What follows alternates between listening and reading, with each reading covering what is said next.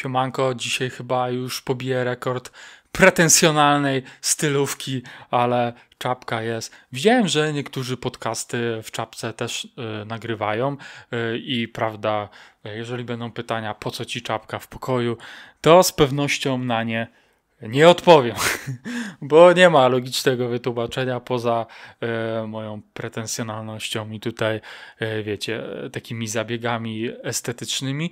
E, I tak, dzisiaj postanowiłem, że nagram o e, nerwicy natręctw. Przynajmniej takie było założenie, ale bardzo dużo wiadomości w kontekście nerwicy lękowej pojawia się dotyczącej e, derealizacji i depersonalizacji.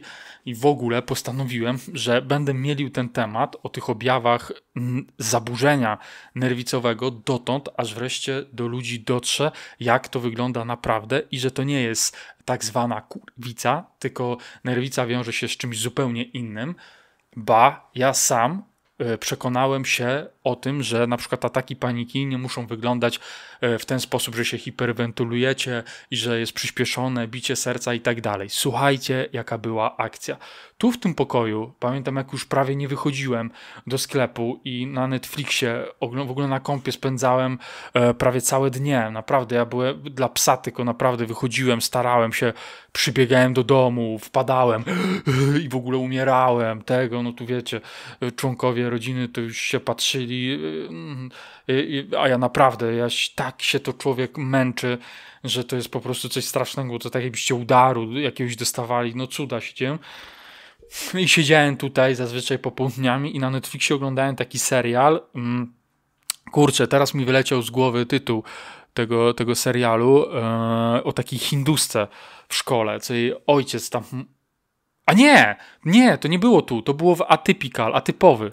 To było w atypowym. I słuchajcie, tam była taka scena, że ten ojciec zasłabł w kuchni i w ogóle upadł, zasłabł i to się działo już, jak e, tam któryś odcinek on wiedział o zdradzie jego żony. I właśnie tam z karetki mówili, że miał pan po prostu atak paniki. Ja wtedy miałem takie wait a minute i mówię, co jest grane? Mówię, atak paniki tak też może wyglądać? Mówię, że jest takie właśnie nagłe zasłabnięcie y, i, i wiecie, i, i upadasz i, i to tak. I wtedy do mnie właśnie dotarło, że to też tak może wyglądać. Y, także nerwica to nie musi mieć też objawów i powiem wam więcej, ona w większości ma taki objaw, tak się manifestuje, że siedzicie sobie spokojnie i nagle wam się robi słabo, albo nagle y, wam skacze ciśnienie, albo nagle czujecie, że dzieje się coś z wami niedobrego i potem nakręcacie całą spiralę, począwszy od ciśnienia, pulsu i tak dalej, więc no, to nie wygląda tak, że to jest adekwatne do sytuacji stwarzającej zagrożenie. To też bardzo często jest niezrozumiałe, a to tak właśnie działa, że nie generują się te objawy i ten atak paniki za pośrednictwem wystąpienia tego bodźca bezpośrednio stresującego w postaci jakiejś sytuacji. Nie, możecie siedzieć totalnie na luzie i oglądać właśnie jakiś serial, film y, i to wtedy atakuje. No i dlatego też to napawa taki, takimi wątpliwościami, czy to aby na pewno E, nie jest jakaś choroba, no bo przecież normalnie siedziałam, siedziałem i nagle takie coś. Więc jeszcze właśnie tak samo o tych objawach przysięgam wam, jak opowiadałem na przykład znajomemu i tak mówiłem, że to może tak być, że to właśnie na tle nerwowym się tak robi. Ludzie słuchają tego jak czeską bajkę i to na, nawet jestem zdumiony, że e, personel medyczny nieraz nie dowierza. Ja dostaję wiadomości od ratowników medycznych, którzy mówią, że stary, no dzięki, że to opisujesz, bo mieliśmy już tak parę razy i my nie wiedzieliśmy, że to tak może wyglądać. Więc to dla mnie jest trochę szokiem, e, że że ludzie nadal są zdziwieni, a jak znajomym też tłumaczysz, że te objawy mogą być tak generowane, no to po prostu nie. Ale że z nerwów, żeby się tak działo? Niemożliwe. No przecież co, a, a naprawdę tak, może, może, może się tak dziać. Właśnie e, jak przez dłuższy czas e, ten układ nerwowy jest przeciążany, no nie? Ale żeby nie zbaczać z tematu. O tym jeszcze będę naprawdę mówił, także subskrybujcie kanał, e, lajkujcie. Cieszę się, że Wam się dobrze ogląda, że odbiór jest e, ok i że znajdujecie gdzieś tam też wsparcie w tych e, moich historiach.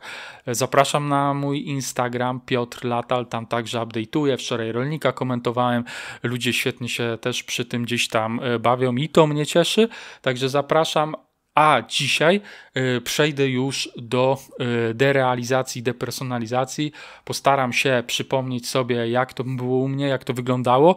No i też o nerwicę natręstw, bo ktoś tam pytał y, o nerwicę natręstw i zobaczymy, jak to się zmieści w czasie, bo też bym chciał poruszyć ten temat i też o tym opowiedzieć. A więc, po pierwsze, czym jest derealizacja i depersonalizacja. Jest to niezmierna, ważna rzecz, aby wiedzieć, czym to jest, kiedy to się pojawia. Ja nie wiedziałem totalnie. Pierwsze epizody miałem już w podstawówce. A wiecie, kiedy się dowiedziałem, co to jest? Jak byłem chyba w trzeciej technikum. Zobaczcie, ile czasu kreowałem błędny schemat poprzez niewiedzę, czym jest to uczucie, do momentu, kiedy się dowiedziałem i gdzieś tam dopiero na goglach zacząłem wpisywać i nagle patrzę, ja nie znałem tych pojęć wtedy. Derealizacja, depersonalizacja. No i czytam, bingo. Ja prawie ręce mi opadły. Mówię, zagadka dwudziestoletnia wreszcie została rozwiązana. Co, co mi jest, ale śpieszę teraz właśnie z tym wyjaśnianiem, że jak ktoś jest na początku tej drogi, to bardzo istotne jest to właśnie, żeby sobie zdawał sprawę, co to jest. I najpierw może przedstawię taką definicję, czym jest derealizacja, y, po co to jest, jak powinniśmy to traktować, i potem opiszę, jak to wyglądało u mnie, jak to się objawiało, no nie? Więc e, derealizacja jest to stan poczucia wyobcowania z własnego ciała. Macie, macie poczucie jakby odrębności, czujecie się jakbyście byli w filmie, nie macie poczucia własnego ja, tu już się pojawia depersonalizacja i poczucia otoczenia. Czyli logicznie zdajecie sobie sprawę, gdzie jesteście, co robicie, e, kim jesteście, ale jakby wewnętrznie tego nie czujecie, nie czujecie spójności e, własnego ja z otoczeniem i tak dalej. I wydaje się to może dosyć hardkorowe, ale geneza tego wcale nie jest hardkorowa jest bardzo logiczna, gdyż jest to ostatnia taka deska ratunku twojego przeciążonego układu nerwowego, żeby odizolować cię od otoczenia, które wywołuje u ciebie reakcje stresowe i lękowe. Działa to tak, że jeżeli przez dłuższy czas na przykład waszą reakcją na agorafobię, na lęki społeczne są bóle brzucha, to działa także do pewnego momentu i ból brzucha manifestuje się i jest to swego rodzaju sygnał od ciała, że coś musicie zmienić. Stary, zmień to, bo mam tego dosyć, organizm daje wam wtedy sygnał. I dlatego ten brzuch, jeżeli to nie działa, pojawia się kolejny objaw, kolejny i to tak ewoluuje, aż w końcu taką ostatnią deską ratunku właśnie są derealizacje i depersonalizacje. I one się pojawiają właśnie w obliczu bardzo często najbardziej stresujących dla was sytuacji, okoliczności.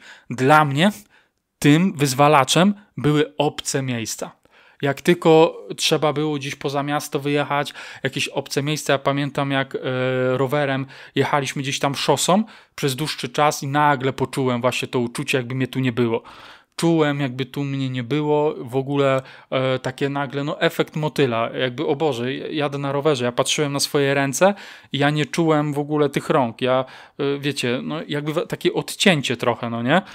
Mm. I podstawową sprawą e, w e, występowaniu takich objawów na początku jest akceptacja i pełne zrozumienie.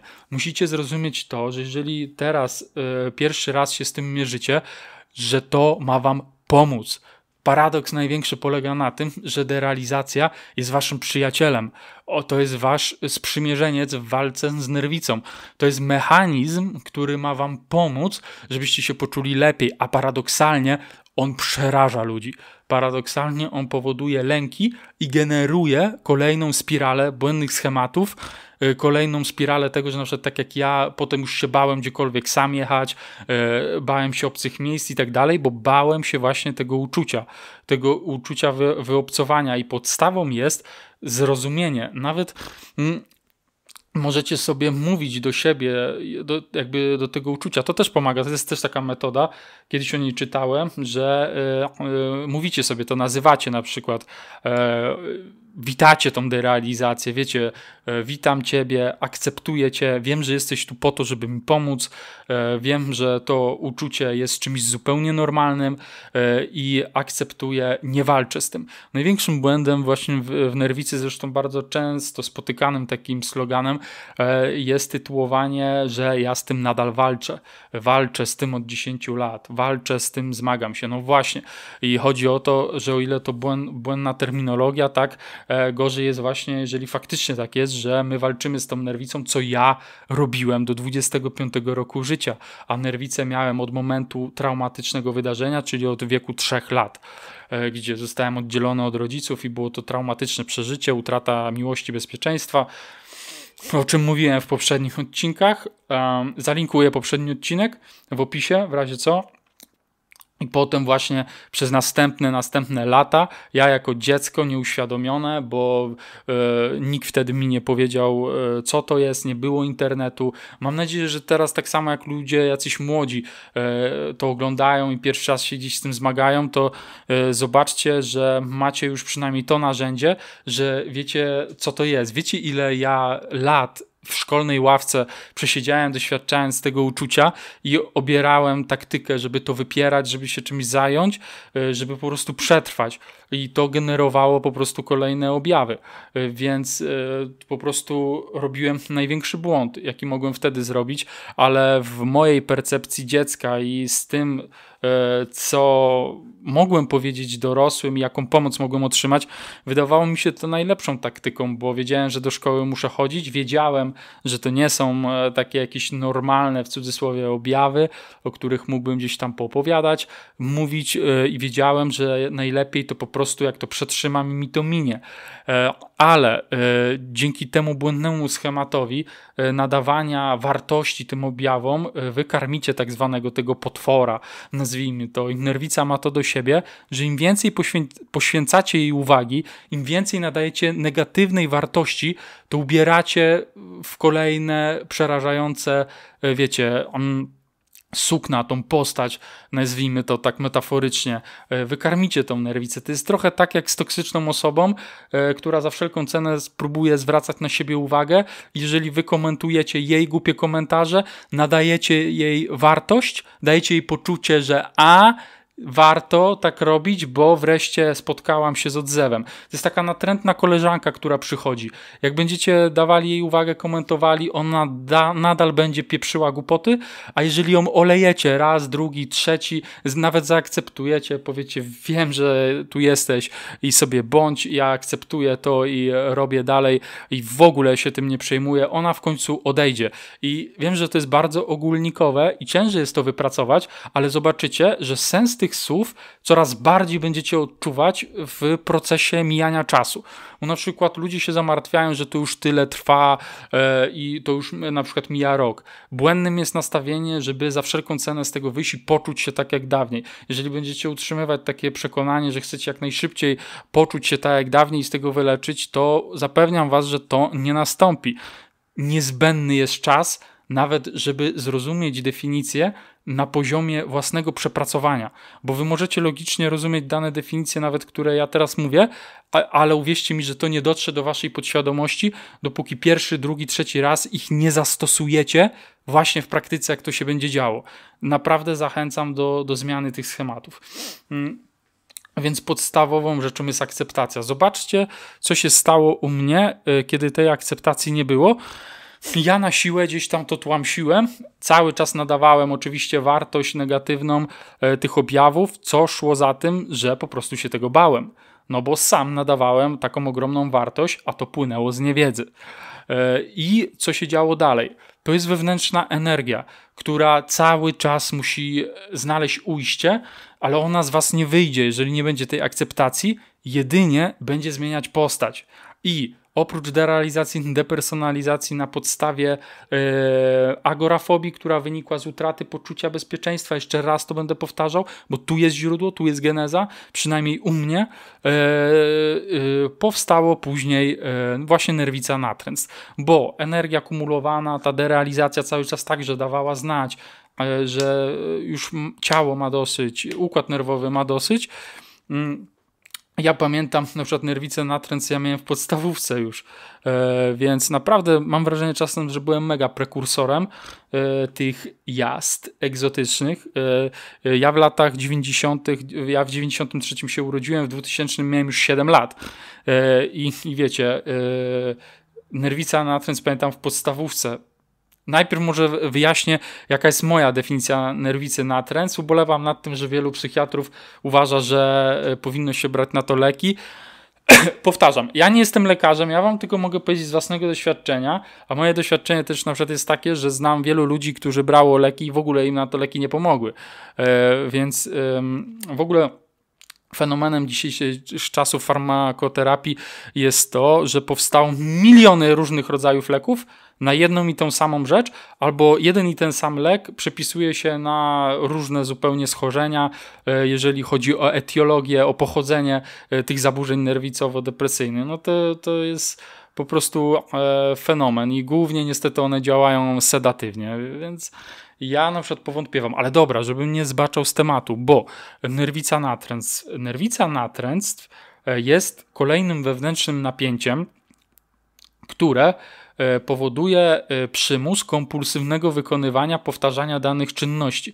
I e, ja na przykład, jak to kiedyś pamiętam, jak to, jak to do babci mówiłem chyba po latach, tak, że o co w tym chodzi, to miała takie co za głupoty, co w ogóle za naprawdę, ale wiecie, nie przejmujcie się też, E, i na przykład nie zalecam rozmawiać na te tematy z ludźmi, gdzie przeczuwacie, że e, intelektualnie i jeżeli chodzi o jakieś horyzonty, mogą te, nie chcieć tego zrozumieć, e, więc to nie, nie, nie, bez sensu jest wchodzić w takie dyskusje nawet.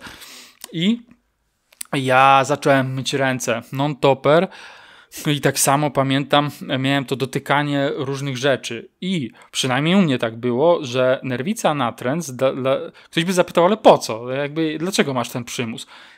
A no właśnie, bo tutaj pojawił się taki schemat myślowy, że jak ja tego nie dotknę albo nie powtórzę danej czynności, to przynajmniej ja tak miałem, coś się stanie na przykład mojemu ojcu. Ja tak miałem, że on był taką główną postacią, która się stała i zobaczcie, znowu cofamy się do dzieciństwa gdzieś tam, że do tych błędnych schematów, które się utarły, że ty czu, czułeś e, utratę bezpieczeństwa, nie czułeś wsparcia, jednocześnie później czułeś, że to twój rodzic wręcz jest zagrożony i ty przejmowałeś tą rolę, e, że to ty musisz e, zapobiegać pewnym zdarzeniom. I to wasza podświadomość potrafi przekuć właśnie w taką patologiczną e, postać jak nerwica natręt, gdzie cały czas macie takie nawet wewnętrzne... Słuchajcie, logicznie możecie sobie zdawać sprawę, że nie ma takiej sprawczości, ale emocjonalnie będzie to totalnie, emocjonalnie totalnie nie będziecie czuli ulgi, dopóki po raz setny nie dotkniecie tej na przykład rzeczy. I to o to, to o to chodzi, że wy logicznie możecie walczyć, ale nie, jak nie poprawicie tej firanki, to, to nie poczujecie tego spokoju. I Dlatego e, ciężko też jest tak z tego, z tego, wyjść. E, tak samo miałem, jak czytałem lekturę i cały czas musiałem się cofać o parę zdania. Pamiętam Robinsona Crusoe, pamiętam jak jeden rozdział, Boże, ja czytałem ty, tyle czasu, że to był szok. No już to mnie tak drażniło, i e, co się działo, nawet jak na siłę, mówię, nie, czytam dalej, czytam, czytam i cały czas ta myśl. A jak to powoduje to, że twój ojciec zachoruje, a co ci szkodzi? Cofnij się, przeczytaj to zdanie i y, będzie ok. A jak jest takie fatum, że jak ta myśl powoduje to, że y, tak się stanie i wolisz właśnie zapobiegać i to jest taki naprawdę, to też może nie chcę tu już siać teorii spiskowych, może tak działa sam zły tam, wiecie, skąd i może to, to jest taka odwieczna walka dobra ze złem, bo jest to iście diabelski schemat i jest on dużo bardziej rozbudowany i ma naprawdę podstawy logiczne, do tego. Ja tak samo właśnie z tym myciem rąk, te ręczniki wie, wiecznie mokre, z cofaniem się na ulicy, e, tam ja pamiętam jak koszulkę na WF-ie ubierałem po pięć razy, po sześć obkręcałem ją, bo mówię nie, nie, nie, e, ta myśl się pojawiła, że coś się stanie, nie i dopiero wiecie, założyłeś za którymś razem, pamiętam jak się nawet ze mnie śmiali w podstawówce, tam w szatni chyba, bo wyczaili, że coś jest nie halo, no pamiętam uderzyłem nawet chyba jednego kolegę, mm, bo no wiecie, no to, to widzicie, ja Boże, teraz taka mała przerwa, refleksja, wiecie dlaczego? Zaraz wam powiem dlaczego. Bo widzę siebie, widzę siebie w tej szatni, widzę, widzę tą swoją koszulkę Beckhama, z Manchesteru United. Jakbym mógł powiedzieć, stary, o co chodzi w tym wszystkim i w ogóle. E, chociaż na tą nerwicę natręc, no i zapytacie się, jak to było dalej. E, bardzo długo to miałem, były już takie naprawdę momenty, to bardzo długo trwa, no nie, e, nie muszę mówić, jaki organizm jest wykończony po całym dniu, jak na przykład wy, tak jakbyście zrobili tysiąc dodatkowych czynności, czaicie bazę. Pamiętam, że to mi po prostu minęło, nie? To mi po prostu gdzieś tam minęło, ale Zamiast tego wskoczyło co innego. I potem znowu miałem derealizację, no i to koło się tak toczy, nie? I to się tak zamyka. E, dopóki nie zaczniecie tego przepracowywać, dopóki ktoś wam nie przedstawi racjonalnych definicji. Przede wszystkim ja wtedy nie miałem pojęcia, co to jest a że to w dzieciństwie, że to ja w ogóle, ja, ja, ja wiedziałem, że jestem dziwny ogólnie, ja wiedziałem, że, że nie jestem taki jak inny, że y, to się coś dzieje nie tak jak powinno, że te odczucia są dziwne. I to była taka moja tajemnica trochę, no nie? A, ale w ogóle nie miałem żadnego kierunku jakby dlaczego to się tak dzieje, skąd, jak i co, po prostu cały czas z tym funkcjonowałem. I Fajnie, że teraz są takie czasy, że y, wiedza jest rozpowszechniana, nawet za pośrednictwem właśnie takich podcastów jak ten, i że coraz więcej ludzi sobie zdaje z tego sprawę, bo to nie są problemy, które dotyczą nawet bezpośrednio tylko i wyłącznie mojego pokolenia, teraz następnego, ludzi urodzonych już po 2000 roku, ludzi urodzonych nawet w 2010, którzy teraz mają tam 13 lat, 12 i być może też się już zmagają. To były problemy także naszych rodziców, dziadków. Słuchajcie, dygresja, mała historia. Pamiętam, jak e, opowiadała babcia tutaj jakieś, wiecie, takie wydarzenia e, rodzinne i opowiadała o moim dziadku od strony ojca. I tam e, Generalnie on właśnie też zmagał się z problemem alkoholowym, który też wynika z wielu rzeczy, ale o tym może kiedy indziej opowiem, jak będziecie chcieli, bo też mam pewne spostrzeżenia. W wieloletniej praktyce jako osoba gdzieś tam może współzależniona, wiecie, gdzieś się stykasz z tym w rodzinie, E, e, I ona tak e, opowiadała, a ja mam tą zdolność do zapamiętywania takich rzeczy, wyłapywania, że zawsze był mega poirytowany, ten mój dziadek, jak szedł z nimi na spacer. I dalej kontynuowała tą opowieść, że był taki wiecznie wkurzony i, uwaga teraz, cały czas podchodził do mojego ojca, jak mój ojciec był mały i cały czas mu czyścił tą kurtkę. I nie dał mu iść, nie dał małemu Krzyśkowi, bo cały czas a to masz to, a to masz to, a to mu poprawiał, a to ściągał. I zobaczcie, bidny dziadek Janusz po prostu cierpiał na co? Na nerwice natręctw. I nikt o tym nie wiedział. I e, wtedy, i nawet ja już nie chciałem tłumaczyć, ale widzicie, wtedy e, moja babcia reagowała frustracją, dlaczego on tak cały czas mu poprawia wszystko, dlaczego tu mu ściąga, dlaczego to mu e, e robi, a nie miała pojęcia. I tak samo teraz, nawet jakby chcieć jej to powiedzieć, to w ogóle, co za absurd, w ogóle wymysły. A to nie są wymysły. Ja jestem święcie przekonany i pewny, bo dlaczego to się cały czas dzieje. Ile razy dobitnych przykładów kolejnych historii pokoleniowych, kolejnych zaburzeń nerwicowych wynikających właśnie z tego dzieciństwa e, musi jeszcze być, żeby ktoś w końcu e, zrozumiał to, że właśnie tam się to dzieje. I, i właśnie dlatego później takie nierozwiązywalne problemy są, jak, e, które rodzą kolejne, gdzieś tam uciekanie w alkohol i w inne rzeczy to trzeba przerwać na takim etapie, zanim się założy własną rodzinę i mieć przepracowane te rzeczy, żeby potem kolejne i kolejne pokolenia nie cierpiały, dlatego że była ignorancja. Poza tym, Czytałem tak samo kiedyś e, takie coś, że e, podobno z pokolenia na pokolenie tego typu zaburzenia są nasilone. Także tak jak na, nasz e, dziadek, no na przykład teraz mój dziadek od strony mamy, to on był ekonomistą, e, on był prezesem całej takiej firmy, jakby za, za, która zaopatrywała w produkty spożywcze sklepy e, i tak dalej i generalnie mega ścisły umysł i taki wiecie, bardzo twardo stąpający po ziemi, a ja pamiętam jako dziecko, bo mam patologicznie dobrą pamięć, jak on cały czas w nocy chodził i go brzuch bolał. No i, i widzicie, tylko że ja, ja to pamiętam za dzieciaka. Ja, jak on też właśnie miał takie, tylko zobaczcie, że jemu się to manifestowało już ile lat on miał i że tymi bólami, ja bóle brzucha to ja w przedszkolu już miałem. E, poza tym widzicie, jakoś te pokolenia funkcjonowały, a teraz już dochodzi do tego, że z pokolenia na pokolenie ci ludzie mają jakby nasilone te objawy i ciężej im się funkcjonuje i co za tym idzie, ciężej zrozumieć to ich rodzicom i na przykład dziadkom, no nie? A wiedzcie, szanowni rodzice i szanowni dziadkowie, że to od was się zaczęło. No. Jest nawet taka książka chyba, nie od ciebie się zaczęło. Jest taka książka, piszcie w komentarzach, polecajcie, bo, bo, bo tak. Na dzisiaj to tyle na razie. E, zapraszam na mój Instagram Piotr Latal. Mam do przepracowania kolejny rozdział. E, we własnej terapii dotrzeć do sedna. Technika odpływania wstecz. E, to się tyczy książki fenomenalnej, e, traumatyczne doświadczenia z dzieciństwa. Opowiadałem o tym w odcinku poprzednim. Także zalinkuję ten odcinek w opisie.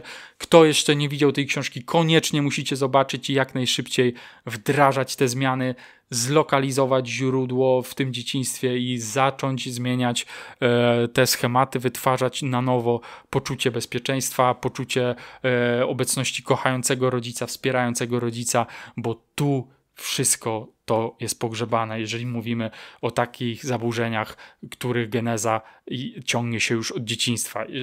Zupełnie innym tematem, chcę jeszcze raz podkreślić, jest nerwica tak zwana nabyta, która jest spowodowana na przykład przebywaniem w stresogennym środowisku przez dłuższy czas. Mam tu na myśli toksyczny związek, toksyczną pracę i tak dalej. To jest trochę inne. Nie trzeba według mnie przepracowywać takich rzeczy. E, trzeba odizolować się od tego e, czynnika e, stresującego. Wiele takich historii też poznałem i naprawdę ludzie dochodzą do siebie, więc no, dużo lepsza jakby to jest wersja nerwicy, uważam. Nerwica nabyta i stanowi ona jednak większość przypadków z tego co widzę. Ludzie od razu się do tego nie przyznają, ale z czasem wychodzi, że po prostu e, przebywałam, przebywałem w toksycznym związku przez 4 lata e, i od razu jest takie here we go, mamy, mamy to. Także Także tak, no i piszcie komentarze, co myślicie na ten temat. Co wyciągnęliście z tego odcinka? Mam nadzieję, że definicja derealizacji, depersonalizacji jest już Wam znana że już będziecie wiedzieli, dlaczego to występuje, po co to jest, jak przywitać te objawy, jak je zaakceptować i życzę Wam przede wszystkim wdrażania tą teorię w praktyce. E, nie bójcie się, e, macie wiedzę, dostajecie powoli już narzędzia i, i stosujcie te schematy i mam nadzieję, że e, że będzie lepiej i że będziemy zmieniać to. Będziemy zmieniać nie tylko świadomość ludzi, ale wasz dobrostan. Możecie puścić swoim rodzicom, dziadkom to wszystko, wszystkim osobom, które nie rozumieją, co się z wami dzieje. Posyłajcie dalej, udostępniajcie, a my widzimy się po prostu w następnym odcinku. Dziękuję za uwagę, trzymajcie się. Cześć. Pewnie będzie o tej czapki. Ale podoba mi się w tej czapce. Może będę już tak robił, nie? No.